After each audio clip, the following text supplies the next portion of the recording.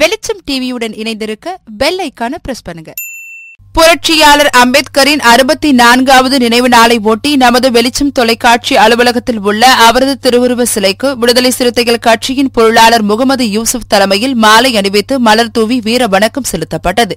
இந்த நிகழ்வில் வெளிச்சம் தொலைக்காட்சியின் நிர்வாக இயக்குநர் தயாளன் தென்சென்னை மேற்கு மாவட்ட செயலாளர் விகோ ஆதவன் தீநகர் சட்டமன்ற தொகுதி செயலாளர் புதூர் தினகரன் விருகம்பாக்கம் சட்டமன்ற தொகுதி செயலாளர் கரிகார் வளவன் முற்போக்கு மாணவர் கழகம் மாநில துணை செயலாளர் நெப்போலியன் உள்ளிட்ட ஏராளமான நிர்வாகிகள் கலந்து கொண்டு வீர வணக்கம் செலுத்தினர். தம்பிகள் நாங்கள். அடங்க மறுப்போம் அடங்க மறுப்போம். இதனைத் தொடர்ந்து சென்னை கோயம்பேடு பகுதியில் உள்ள புரட்சியாளர் அம்பேத்கரின் திருவுருவ சிலைக்கு விடுதலை சிறுத்தைகள் கட்சியின் சார்பில் கட்சியின் பொருளாளர் முகமது யூசுப் தலைமை நிலைய செயலாளர் இளம் சேக்குவாரா தலைமையில் மாலை அணிவித்து வீர வணக்கம் செலுத்தப்பட்டது. இந்த நிகழ்வில் சென்னை மாவட்ட செயலாளர்கள் விகோ ஆதவன் செல்லதுரை ஈரா செல்வம் உள்ளிட்ட ஏராளமானோர் கலந்து கொண்டு வீர வணக்கம் செலுத்தினர்.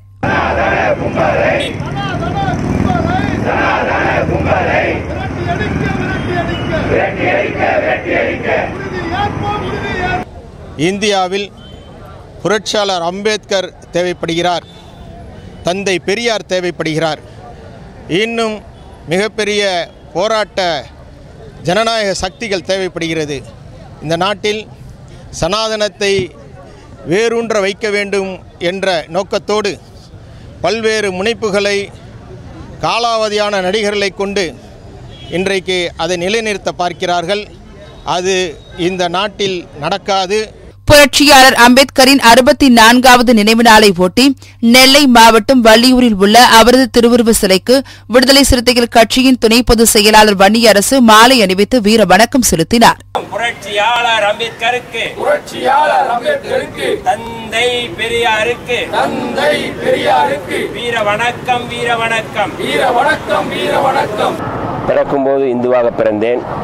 ஆனால் சாகும்போது ஒருபோதும் இந்துவாக சாக மாட்டேன் என்ற புரட்சியாளர் அம்பேத்கர் அவருடைய இந்த நினைவு நாளில் இந்துத்துவம் இன்றைக்கு இந்தியாவை எவ்வளவு மோசமாக வழிநடத்தி வருகிறது என்பதற்கு பல உதாரணங்களை நாம் சொல்ல முடியும். இந்து ராஷ்டிரம் அமைக்கப்பட்டால் இந்தியா மிகப்பெரிய ஒரு பேரழிவை சந்திக்க நேரிடும் என்று புரட்சியாளர் அம்பேத்கர் அவர்கள் எச்சரித்தார்கள். அந்த இந்து ராஷ்டிரம் சுதந்திரம் சமத்துவம் சகோதரத்துவத்துக்கு எதிரானது என்று எச்சரித்தார் அவர்கள்.